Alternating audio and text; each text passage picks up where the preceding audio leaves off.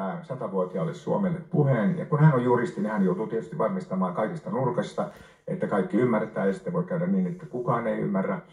Ja nyt otetaan ne ripit tuohon. Silmä, suu.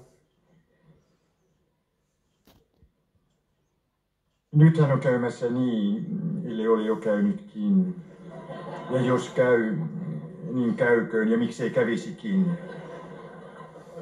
Käsittääkseni, jos olen käsittänyt oikein, ja uskon, että olen käsittänyt, ja miksen olisikin käsittänyt oikein, olemme lähestymässä, tai aika lähelläkin, ellei peräti jo perillä.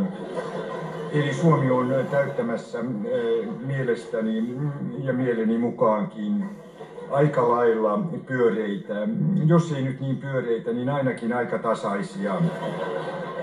Ja minun ymmärrykseni, mutta tiedän, että, että joku toinen saattaa ajatella, niin tämä kaikki olisi selkokielellä, joka on minulle kaiketi ja varmaan, ja varmasti onkin ja pitääkin olla se kaikkein vaikein kieli. Kansalaiset, meet Suomi täyttää sata.